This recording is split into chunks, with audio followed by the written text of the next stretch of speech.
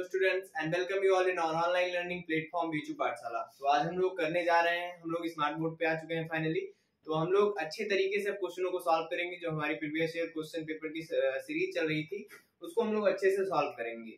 Okay तो यहाँ मैंने वो जो आंसर की है, उसके माध्यम से मैं आपको क्वेश्चनों को सॉल्व कराऊँगा. तो अच्छे से हम लोग सॉल्व करते हैं. उससे पहले मैं आपको बता देना चाहता हूँ, अगर आप हमारे ऑनलाइन कोर्सेज में एडमिशन लेना चाहते हैं तो आप इस नंबर पे हमें कॉल कर सकते हैं या आप हमें मैसेज कर सकते हैं।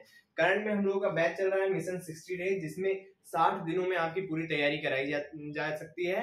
तो इसको आप ज्वाइन कर सकते हैं इस पे कॉल करके या व्हाट्सएप करके। तो चलिए हम लोग अपना देखते हैं जो हम पढ़ रहे हैं प्रीवियस ईयर क्वेश्चन पेपर्स तो नेक्स्ट ईयर का प्रीवियस ईयर क्वेश्चन पेपर है। क्वेश्चन आया था ये करंट अफेयर का क्वेश्चन है ओके तो करंट अफेयर में पूछा गया था the name of current vice chief of army staff okay तो इसने डायरेक्टली पूछा था। थोड़ा हम लोग ये कर लेते हैं। तो इसने चीफ ना पूछ करके वाइस चीफ पूछा था। तो वाइस चीफ उस समय तो जनरल रणवीर सिंह थे, लेकिन इस समय सॉरी रणवीर नहीं थे जनरल सत्येंद्र कुमार सैनी थे। इस समय लेकिन कौन है? इस समय चंडी प्रसाद है। और चीफ पूछेगा तो अभी भी जनरल मनोज मुकुंद नरवने ही है। ओके तो अगर चीफ पूछेगा तो जनरल मनोज मुकुंद नरवने जी हैं और वाइस चीफ जो है, इस समय चंडी प्रसाद जी हैं। ओके तो ये क्वेश्चन करंट का था, फिर भी मैंने आपको करा दिया। नेक्स्ट देखते हैं। नेक्स्ट क्वेश्चन था, ये भी करंट से ही था टॉम ट्रैफ़िक इंडेक्स से 2019 के, कि कौन सबसे ज़्यादा ट्रैफ़िक गेन करता है। तो ये अपने वर्ल्ड में तो ये अपने इंडिया की ही सिटी है बेंगलुरु बेंगलुरु इंडिया की ही सिटी है। और ये इस बेंगलुरु को हमारे देश के एक इलेक्ट्रॉनिक राजधानी के रूप में भी जाना जाता है। क्योंकि यहाँ पे जितने भी इलेक्ट्रॉनिक चीज़ें हैं, उनका एक हब माना जाता है। तो बेंगलुरु जो थी, सबसे ज़्यादा ट्रैफ़िक गेन करने वाली सिटी थी पूरे वर्ल्ड में। नेक्स्ट क्वेश्चन देखते हैं। नेक्स्ट क्वेश्चन था according to 2011 census which of the following union territory had the highest literacy rate सबसे ज़्यादा साक्षरता दर, वो भी केंद्र शासित प्रदेश ओके टर्म्स में आप बहुत ज़्यादा ध्यान दीजिएगा, क्योंकि ये शब्दों से क्वेश्चंस गलत हो जाते हैं। तो पूछ रहा है केंद्र शासित प्रदेश के बारे में। तो यहाँ पे था लक्षद्वीप ओके लक्षद्वीप लक्षद्वीप की राजधानी पूछेगा तो क्या हो जाएगी? कवरती। क्या हो जाएगी? कवरती इसकी राजधानी है। ओके? और इसका पर अभी जो प्रेजेंट सिनारियो में हम देखेंगे, यानी करंट अफेयर्स में हम देखेंगे तो एंटी गुंडा लॉ और भी कई सारे लॉ यहाँ पे आए हैं तो इसको आपको करंट अफेयर्स में पढ़ना है। तो लक्षद्वीप लक्षद्वीप सबसे ज़्यादा क्या है? लिटरेट है, यानी यहाँ पे साक्षरता दर सबसे ज़्यादा है, इसकी राजधानी क्या है? कवरती है, और ये भारत का एक द्वीप है। मैं आपको दिखा देता हूँ, लक्षद्वीप कहाँ पर है?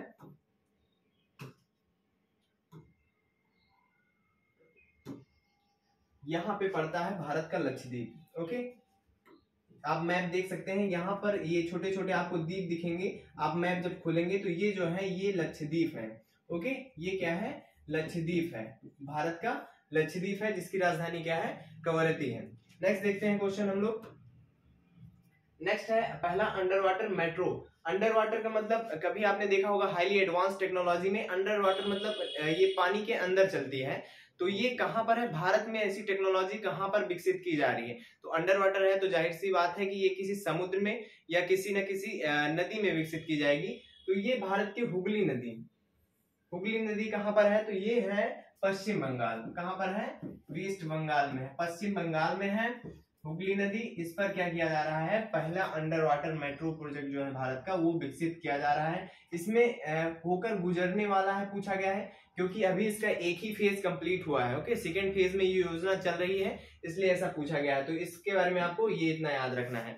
नेक्स्ट क्वेश्चन देखते हैं। तो हुगली नदी आपके लिए उतना ज़्यादा इंपॉर्टेंट नहीं है, इसलिए मैं इसको एक्सप्लेन नहीं कर रहा हूँ। नेक्स्ट क्वेश्चन देखते हैं। नेक्स्ट क्वेश्चन है रीजनिंग से related which one will replace the question mark इसमें देखिए, हमको इन दोनों आकृतियों में सिमिलैरिटी ढूंढ करके इस आकृति में ये जगह हमको भरना है। यानी क्वेश्चन मार्क वाला जो जगह है, यहाँ पर क्या आएगा? तो चलिए देखते हैं हम लोग। यहाँ पे देखिए क्या हुआ है। यहाँ पे 10 से जब चार माइनस कर दिया गया है तो छ आ गया है। ओके? ऐसी सिमिलरिटीज यहाँ पर भी 18 से चार माइनस किया गया है तो 14 आ गया है। ऐसे ही यहाँ किया गया है 22 से जब 8 माइनस किया गया है तो 14 आ गया है। ऐसे ही हम यहाँ भी कर देंगे। जब हम पंद्रह से पाँच माइनस करेंगे तो यहाँ पे क्या आ जाएगा? दस आ जाएगा। अगर ये भी नहीं लग रहा आपके एग्ज़ाम में तो दूसरा आप कहाँ से कर सकते हैं? दूसरा आप यहाँ से भी कर सकते हैं। जब हम 18 से 10 माइनस करेंगे तो 8 आया है। ओके? यहाँ से कर सकते हैं। आप ये तो मैं बता ही चुका हूँ, यहाँ से कर सकते हैं। जब छ और आठ को हम लोग एक सेकेंड में मिटा देता हूँ, आपको अच्छे से समझ में आएगा। जब हम छ और आठ को ऐड करेंगे तो ये क्या हो जाएगा? चौदह हो जाएगा। छह और आठ को हम ऐड करेंगे तो क्या हो जाएगा? चौदह हो जाएगा। वही सिमिलरिटीज यहाँ पर भी लगाइए। छह और चार को ऐड करके हम क्या कर देंगे? दस कर देंगे। तो इसका सही ऑप्शन क्या हो जाएगा? दस हो जाएगा। नेक्स्ट देखते हैं। आई होप ये क्वेश्चन आपको समझ में आया होगा। रीजनिंग uh, जो है आप जितनी ज़्यादा प्रैक्टिस करोगे उतनी ज़्यादा रीजनिंग आपकी अच्छी होगी। So reasoning is all about practice तो आप लोग अच्छे से प्रैक्टिस कीजिए रीजनिंग अभी देखिए 2011 की जनगणना से एक क्वेश्चन आया था। दूसरा क्वेश्चन भी आपको मिल गया। ये क्वेश्चन मैं पहले वीडियो में करा भी चुका हूँ लेकिन मैं आपको फिर से करा रहा हूँ। तो सेंसस जो है ये आप अच्छे से पढ़ के जाइएगा 2011 की जनगणना। क्वेश्चन में ऑर्डर पूछा था कि descending order terms of their population population के हिसाब से। तो सबसे ज़्यादा पॉपुलेशन किसकी थी? उत्तर प्रदेश। सबसे ज़्यादा उत्तर प्रदेश, उसके बाद महाराष्ट्र। हम इन, इसमें देखेंगे ओके प्रेजेंट इसमें देखेंगे, ना कि ऐसे हम देखेंगे। तो यहाँ पे जनरली आप लोग याद क्या करते हो कि पॉपुलेशन सबसे ज़्यादा किसकी, उत्तर प्रदेश की। लेकिन आपको टॉप थ्री या फोर याद करने की ज़रूरत है, तभी आप अटेम्प्ट कर सकते हो क्वेश्चन उसके बाद तो इसका क्या क्रम हो जाएगा? तो देखिए डी और सी पहले ही ऑप्शन में है तो हमें और ज़्यादा जानने की ज़रूरत ही नहीं है। तो पहले ऑप्शन क्या सही हो जाएगा? डी सी बी ए इसका सही ऑर्डर हो जाएगा। इसको मैंने अच्छे से एक्सप्लेन किया है एक वीडियो में। आप वो प्रीवियस ईयर क्वेश्चन पेपर का वीडियो देख सकते हो। आप प्लेलिस्ट में जाके सारी videos previous year question paper के देख सकते हो। नेक्स्ट क्वेश्चन है which state had the lowest population as per census 2011 तीसरा क्वेश्चन आया। नोट कीजिए इसको 2011 की जनगणना से तीन क्वेश्चन आए अभी तक। कितने क्वेश्चंस आए? तीन क्वेश्चन तो आप समझ सकते हैं कितना इंपॉर्टेंट टॉपिक है, जिससे तीन क्वेश्चंस पूछे जा रहे हैं। तो ऐसे टॉपिक से की टॉपिक से इनको आप छोड़ नहीं सकते एग्ज़ाम में। तो इनको अच्छे से आप पढ़ के जाइएगा ही जाइएगा। नेक्स्ट क्वेश्चन कह रहा है, जनसंख्या सबसे कम है। तो किसकी कम है सबसे ज़्यादा? सिक्किम की कम है। सिक्किम को हम लोग क्या कहते हैं? ऑर्गेनिक स्टेट यानी जैविक राज्य। क्या बोलते हैं हम लोग इसको? जैविक राज्य हम लोग बोलते हैं। जैविक राज्य क्या होता है? जहाँ पे जैसे हम लोग केमिकल्स का यूज़ करते हैं फर्टिलाइजर्स का यूज़ करते हैं तो ये लोग फर्टिलाइजर्स का यूज़ नहीं करते हैं। ये लोग किस चीज़ का यूज़ करते हैं? ये लोग जैसे जैविक चीज़ें जो है, उनका यूज़ करके उत्पादन करते हैं, इसलिए इसे जैविक राज्य बोला जाता है। तो आई होप ये आपको क्लियर हुआ होगा। इसको ज़्यादा एक्सप्लेन करने की भी ज़रूरत नहीं है हमें। ओके ये देखिए नेक्स्ट क्वेश्चन आ गया आपका वर्ग चित्र में एबीसीडी में कुल कितने वर्ग हैं? स्क्वायर है फिगर है। तो यहाँ पे मैं आपको एक अच्छी सी ट्रिक बताने जा रहा हूँ। इसको आप अगर नहीं गिनना चाहते तो देखिए, पहले हमको देखना है ये सिमेट्रिकल है कि असिमेट्रिकल है? यानी नियमित है या अनियमित है? यानी चार इधर भी है, चार रॉ। अगर ये वर्ग है तभी ये ट्रिक लगेगी। ऐसे आप निकाल सकते हैं। चार रॉ है। एक इधर है, एक, दो, तीन चार ओके ये है और इधर भी चार ही हैं। आप ये देखेंगे तो चार ही हैं और सिमेट्रिकल है, यानी एक ही तरीके से हैं जितने भी हैं। तो यहाँ पे हम क्या करेंगे? ये जो भी एक तरफ़ तरफ़ के जो भी रॉ हैं, इनका वर्ग करके हम लोग जोड़ देंगे तो हमें आकृतियों का पता चल जाएगा। जैसे एक का वर्ग एक, दो का वर्ग चार, तीन का वर्ग नौ, चार का वर्ग सोलह। तो जब हम इनको ऐड करेंगे ऐड कर लीजिए इनको अगर हम ऐड करेंगे तो कितना आ जाएगा हमारा? आ जाएगा हमारा थर्टी कितना आ जाएगा? थर्टी आप लोग ऐड करके देख लीजिएगा थर्टी आ जाएगा वैसे. सोलह सोलह चार बीस नौ एक दस. बीस दस तीस. तो यहाँ पे हमें गिनने की भी ज़रूरत नहीं पड़ी कि इसमें आ, कितने वर्ग हैं. यहाँ पे हमें गिनना नहीं है क्योंकि गिनोगे तो आप कहीं ना कहीं भूल जाओगे. तो आप ये ट्रिक लगा दोगे तो तुरंत आंसर आ जाएगा आपका क्या? थर्टी लेकिन आपको तभी लगाना है जब आकृति सिमेट्रिकल यानी नियमित हो, जैसे इधर भी चार है, इधर भी चार है और वर्ग पूछा गया हो, ऐसी आकृति अगर आपको दिखेगी तो ये ट्रिक लगाना है। आपको इसका इसका इसका वर्ग करके जोड़ देना है तो आपका आंसर आ जाएगा। आई होप ये क्वेश्चन आपने अच्छे से समझा होगा। नेक्स्ट क्वेश्चन देखते हैं। नेक्स्ट क्वेश्चन बजट से था तो अभी जो करंट में बजट है वो आप पढ़िए, ये क्वेश्चन आपके किसी काम के नहीं है ओके तो बजट जो था, ये आप बजट अभी जो करंट में निकला है वो पढ़िए, उससे क्वेश्चन आएगा, इससे नहीं आएगा। नेक्स्ट क्वेश्चन है the product of point seven five six and point zero two five is इसका गुणनफल पूछा गया। बहुत ही इजी क्वेश्चन है, एक हिसाब से कह सकते हैं हम लोग। तो इसका चलिए हम लोग करते हैं सेवन फाइव सिक्स यहाँ पे देखिए तीन यहाँ पे दशमलव जो है, ये तीन अंक है। तो यहाँ पे हम लोग नीचे क्या लिख सकते हैं? तीन ज़ीरो लगा सकते हैं। इनटू ऐसे भी लिख सकते हैं हम इसको। इसको लिख सकते हैं twenty five upon twenty five upon okay? तो इसको हम इस फॉर्म में भी लिख सकते हैं। तो चलिए देखते हैं क्या करते हैं। ऐसे भी आप इसको गुड़ा करके निकाल सकते हैं लेकिन ऐसे लिख लेंगे तो हमें ज़्यादा आसानी होगी काटने में इसको। तो यहाँ पे हम काट देते हैं पच्चीस। पच्चीस से चार बार जाएगा चालीस आ जाएगा। फिर हम चार से काटते हैं ओके? चार से हम लोग काटेंगे तो कितना आंसर आ जाएगा? ओके? ये आ, आ जाएगा। तो यानी हमें क्या प्राप्त हुआ अभी तक? अभी तक हमको प्राप्त हुआ one eight nine upon ten thousand. One eight nine upon ten thousand तो जब हम ये टेन थाउज़ेंड करेंगे यहाँ पे दस ज़ीरो है तो इधर दशमलव कितने स्थानों पे लगेगा? इधर दशमलव लगेगा चार स्थानों पे। यानी हमको एक ज़ीरो और बढ़ाना पड़ेगा यहाँ पर आगे, फिर हम दशमलव लगाएँगे। तो ये हो जाएगा हमारा आंसर ओके तो नीचे जितने ज़ीरो होते हैं ऊपर, इधर से उतने ही स्थानों पे दशमलव लगते हैं। तो ये हमारा आंसर हो जाएगा point zero eight nine okay point zero one eight nine ये हमारा आंसर हो जाएगा। आई होप ये क्वेश्चन आपको समझ में आया। नेक्स्ट क्वेश्चन देखते हैं। नेक्स्ट क्वेश्चन भी आपका जो था करंट अफेयर से था, क्योंकि करंट अफेयर में भारतीय अर्थव्यवस्था को एक मापने की मांग की गई थी, जो थी misery index okay misery index इससे मापने की बात की गई थी। तो ओकुन नामक एक इकोनॉमिस्ट थे। उन्होंने सबसे पहले इस इंडेक्स को दिया था। तो ये इंडेक्स आई थिंक आपसे नहीं पूछा जाएगा, क्योंकि ये करंट में था। तो जो करंट में इस समय इंडेक्स बहुत ही ज़्यादा पॉपुलर है करंट अफेयर्स में, उनको आप पढ़ना। ये आई थिंक नहीं पूछा जाएगा मेरे हिसाब से, लेकिन पूछा भी जा सकता है तो आप लोग ध्यान से रखिएगा, क्योंकि ये करंट अफेयर का क्वेश्चन था। उस समय बहुत ही ज़्यादा एक बर्निंग इशू था हमारे, ये मिसरी सूचकांक तो पूछा गया ये। ओके तो आप लोग ये याद रखिएगा। नेक्स्ट क्वेश्चन देखते हैं। Who is known as Purandar in Vedic literature Purandar in Vedic literature पहले इसका आंसर देख लेते हैं। इसका आंसर होगा इंद्र। इंद्र। अब पुरंदर शब्द का अर्थ क्या होता है? पुरंदर शब्द का अर्थ होता है जो किलो का नाश करने वाला। ओके डिस्ट्रॉयर ऑफ़ फोर्ट्स तो ये होते हैं किलो का नाश करने वाला उसका अर्थ होता है पुरंदर। तो जो वैदिक लिटरेचर था, उसमें इंद्रदेव को सबसे महत्वपूर्ण स्थान प्राप्त था। ओके, अगर आपसे पूछेगा, ऋग्वेद में सबसे ज़्यादा मंत्र किससे, किसके लिए समर्पित है तो वो भी इंद्र भगवान के लिए थे। तो चलिए हम लोग देखते हैं वैदिक लिटरेचर के बारे में। ये क्वेश्चन थोड़ा इंपॉर्टेंट है तो इसको एक्सप्लेन करते हैं। वैदिक लिटरेचर आप सभी लोग जानते हैं, वेद कितने होते हैं? चार। वेद कितने होते हैं? चार। ओके, पहला कौन सा है? ऋग्वेद। पहला कौन सा है? ऋग्वेद। ऋग्वेद ऋग्वेद में जानने की ज़रूरत क्या है? दस मंडल। ओके यहाँ से मैं आपको लिखता हूँ। दस मंडल। एक सौ अट्ठाईस सूक्ति। ओके ये दस मंडल है, एक सौ अट्ठाईस सूक्ति हैं। और दस मंडल में कौन सा मंडल आपके लिए बहुत ज़्यादा इंपॉर्टेंट है? आपके लिए तीसरा मंडल बहुत ज़्यादा इंपॉर्टेंट है, क्योंकि तीसरे मंडल में क्या है? गायत्री मंत्र है। क्या है? गायत्री मंत्र है आपके तीसरे मंडल में।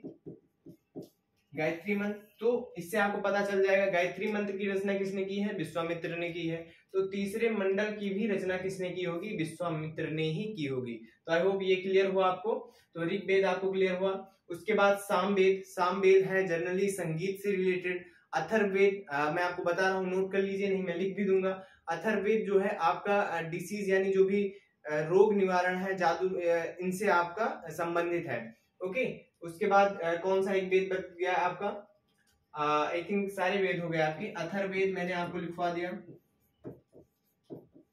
अथर्वेद से ही पहले जो आयुर्वेद है, उसका जन्म हुआ यानी यहाँ पर ही डिसीज कंट्रोल ये सब चीज़ें हमें अथर्वेद में ही देखने को मिली। सामवेद सामवेद में संगीत से रिलेटेड चीज़ें हैं ओके संगीत वादन, ये सारी चीज़ें सामवेद में है हमारी, ये संगीत से रिलेटेड है। उसके बाद बच गया हमारा यजुर्वेद ओके यजुर्वेद में सेक्रीफाइसेस है, यानी कर्मकांड है। क्या है? कर्मकांड है यजुर्वेद में। तो ये चारों वेद आपको आई थिंक क्लियर हुए ओके तो ये सबसे ज़्यादा इंपॉर्टेंट थे। इसमें सबसे महत्वपूर्ण और प्राचीन कौन है? ऋग्वेद है। ऋग्वेद में सबसे ज़्यादा महत्वपूर्ण देवता कौन है? तो वो इंद्र भगवान है। इंद्र भगवान को क्या कहा गया है? पुरंदर कहा गया है। ओके, कहाँ कहा गया है? तो ऋग्वेद में कहा गया है। इसमें दस मंडल, एक सौ है। तीसरा मंडल जो है, उससे गायत्री मंत्र लिया गया है। तो ये वैदिक लिटरेचर में वेद थे। अब उपनिषदों के बारे में जानते हैं हम लोग। इसको मिटा देता हूँ मैं। ओके, इधर जान लेते हैं हम लोग। उपनिषद। उपनिषद जो है, वो 108 उपनिषद है। कितने हैं? 108 उपनिषद है। सबसे इंपॉर्टेंट कौन है आपके लिए? मुंडिको उपनिषद। ओके? मुंडिको उपनिषद क्योंकि वहीं से हमारा सत्यमेव जयते जो स्लोगन है हमारा, वो लिया गया है। तो आई होप ये उपनिषद में भी इतना आपको जानने की ज़रूरत है। नेक्स्ट देखते हैं हम लोग पुराण।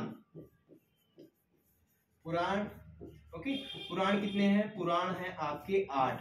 सबसे पुराना पुराण कौन सा है? मत्स्य पुराण। तो ये थी वैदिक लिटरेचर जिसको आपको इसको स्किप नहीं कर सकते। ये मेन मेन पॉइंट थे जो मैंने आपको बताया अच्छे से एक्सप्लेन करके। नेक्स्ट क्वेश्चन देखते हैं। Quit India movement was launched by Congress after the failure of I think first first he video था क्यू का, जिसमें मैंने इसको अच्छे से एक्सप्लेन किया है। क्रिप्स मिशन उसके बाद, इसके बाद क्या हुआ? ये सब मैंने आपको अच्छे से एक्सप्लेन किया है। तो ये आप फ़र्स्ट वीडियो देख सकते हैं इसका आंसर हो जाएगा क्रिप्स मिशन मैं आपको जनरल इन्फॉर्मेशन यहाँ दे देता हूँ और भी मैंने इसको अच्छे से एक्सप्लेन किया है फ़र्स्ट वीडियो में। क्रिप्स मिशन जो है ये आ, आया था इसके थे क्रिप्स जो थे क्रिप्स थे वो इसके हेड थे और पैथिक लॉरेंस और अलेक्जेंडर ये तीन लोग इसके मेंबर थे। क्रिप्स पैथिक लॉरेंस अलेक्जेंडर ये तीन लोग इसके मेंबर थे। ये भारत में आया था भारत को डोमिनियन स्टेटस दिलवाने के लिए। क्यों आया था? क्योंकि उस समय जो है एक विश्व युद्ध जैसी स्थिति बनी हुई थी तो भारतीयों का सपोर्ट चाहिए था। तो अंग्रेज़ों में क्लिमेंट, इटली आई थिंक उस समय था वहाँ का प्रधानमंत्री, उसने भेजा था, क्रिप्स मिशन को भारत की जाओ, भारतीयों को मनाओ कि वो हमारे साथ विश्व युद्ध में सहयोग करें। लेकिन ये यहाँ आया तो महात्मा गांधी जी ने इसको क्या कहा? महात्मा गांधी जी ने इसको कहा, उत्तर तिथि चेक। उत्तर तिथि चेक। ये आप याद रखिएगा। उत्तर तिथि चेक इसको महात्मा गांधी ने कहा और और डूबते हुए बैंक का उत्तर तिथि चेक जवाहरलाल नेहरू ने कहा। यानी पोस्ट डेटेड चेक और post dated cheque of instalment bank दोनों।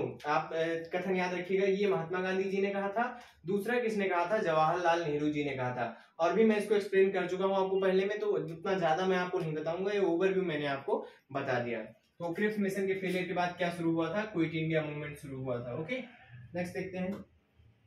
नेक्स्ट क्वेश्चन है नासा ये करंट का क्वेश्चन था ओके करंट का क्वेश्चन था तो इस समय नासा से रिलेटेड जो भी करंट अफेयर्स हैं, वो आपको याद रखने हैं, ओके? नासा से करंट अफेयर पूछा गया था।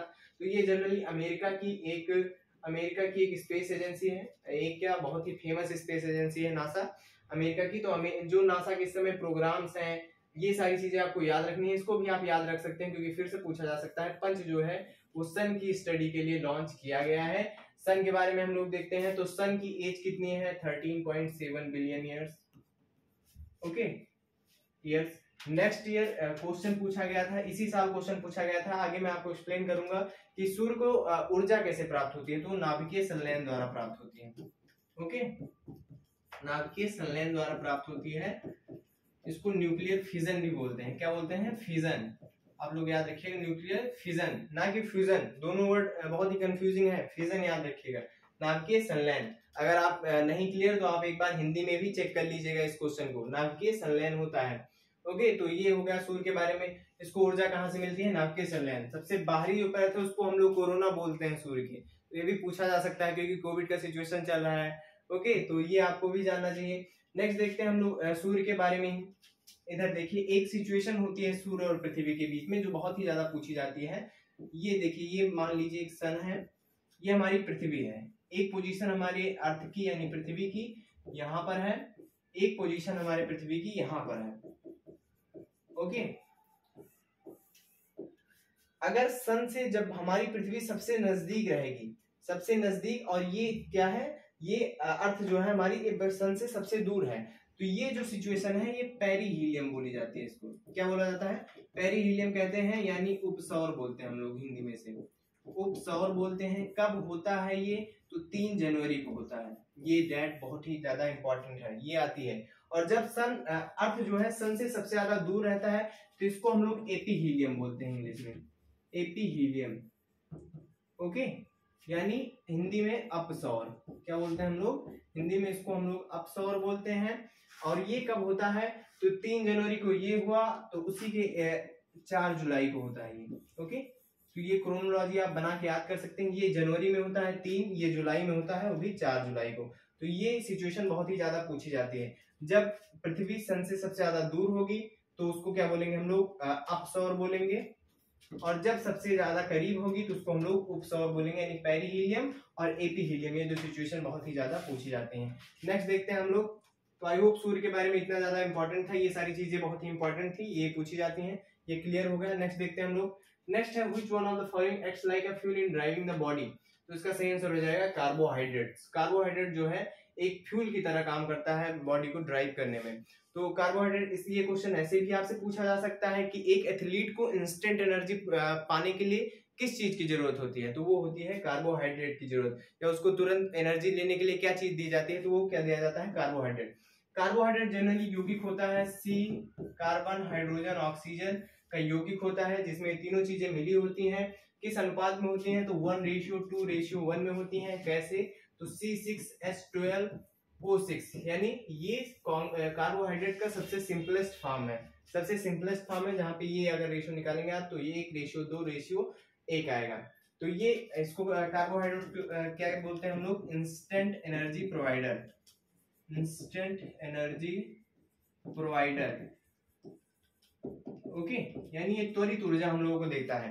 हम अगर एक ग्राम कार्बोहाइड्रेट का उपभोग करेंगे तो हमको 4.3 के किलो कैलोरी ऊर्जा प्राप्त होगी। लेकिन अगर यही पूछेगा सबसे ज़्यादा ऊर्जा कौन देता है तो सबसे ज़्यादा ऊर्जा हमें फैट देता है। क्या देता है? फैट देता है। अगर हम एक ग्राम फैट लेंगे तो हमें 9.3 किलो कैलोरी ऊर्जा प्राप्त होगी। तो जल्दी देने के मामले में कार्बोहाइड्रेट ज़्यादा देने के मामले में फैट है। ओके? तो आई होप ये कार्बोहाइड्रेट के बारे में आपको क्लियर हुआ होगा। कार्बोहाइड्रेट कितने तरीके के होते हैं? तीन तरीके के होते हैं। एक शर्करा दुई शर्करा बहुशर्करा ओके? पॉलीसेकेराइड मोनोसेकेराइड डाइसेकेराइड ये तीन तरीके के होते हैं।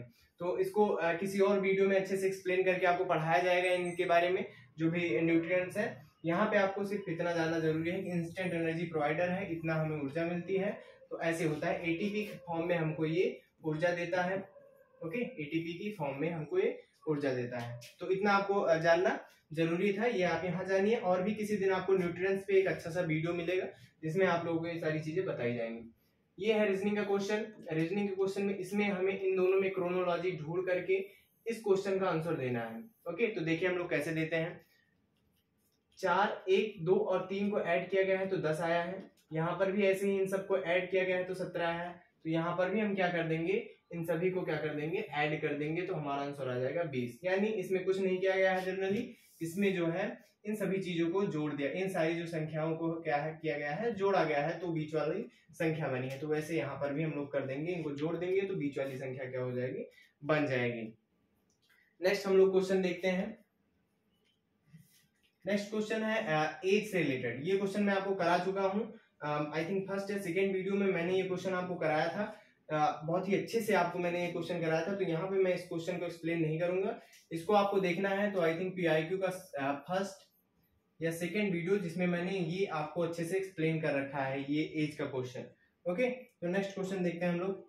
नेक्स्ट क्वेश्चन है of the following country has recently been officially included again in Commonwealth Games Commonwealth Games की बात कर रहा है तो एक करंट का क्वेश्चन था, इसका आंसर था मालदीव्स ओके तो इस, ये करंट का क्वेश्चन था तो मालदीव्स की लोकेशन हम लोग देखते हैं।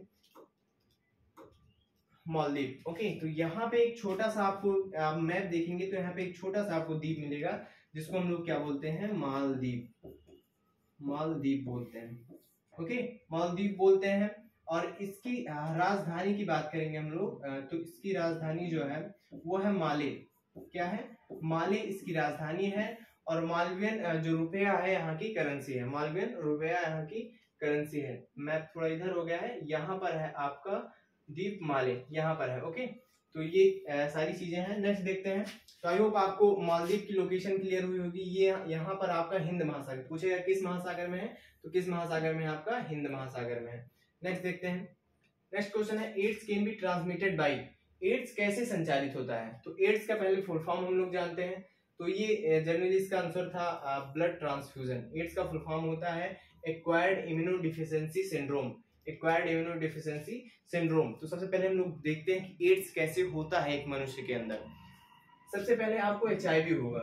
एचआईवी एक वायरस है, ये एक रेट्रो वायरस है okay retrovirus retrovirus वो होता है, जो आरएनए का तो बना ही होता है, लेकिन उसके आसपास जो है वो लेयर्स होती हैं, कुछ एक प्रोटेक्टिंग लेयर्स होती हैं। तो ये एच एक तरीके का रेट्रो वायरस है। पहले आपको एच होगा ओके तो एच होगा, उसके बाद क्या होगा? ये जाएगा टी हेल्पर सेल्स को मारेगा। टी हेल्पर सेल्स को क्या करेगा? मारेगा। हमारे बॉडी में एक टी हेल्पर सेल्स होती होती हैं, उनको नष्ट कर देगा। इनको नष्ट करेगा तो हमारी इम्यूनिटी क्या हो जाएगी? वीक हो जाएगी। इम्यूनिटी क्या हो जाएगी? हमारी बहुत ही ज़्यादा वीक हो जाएगी और उसके बाद हमको क्या होगा? एड्स होगा। क्या होगा? एड्स होगा। ओके ये प्रोसेस होगा। ये प्रोसेस होगा एड्स होने का। एच होगी, फिर टी हेल्पर सेल्स को मारेगा। इम्यूनिटी वीक होगी, फिर एड्स हो जाएगा। और ये होने में जनरली पाँच से दस साल लग जाते हैं। पाँच से दस साल लग जाते हैं। और इंसान कहाँ मरता है? इंसान इसी बीच के स्टेज में मर जाता है। जब इम्यूनिटी इम्यूनिटी उसकी वीक होती है तो उसको इतनी सारी बीमारियाँ घेर लेती हैं वो यहाँ पे मर जाता है। जनरली कोई इंसान एड्स जैसी बीमारी से मरता होगा, क्योंकि ये स्टेज आने ही नहीं पाती। इम्यूनिटी आपकी इतनी वीक हो जाएगी कि छोटी मोटी आपके अंदर वायरस भी आएँगे तो वो चीज़ आपको मौत के तक ले जा सकती है। तो यहाँ पर ही लोग क्या करते हैं?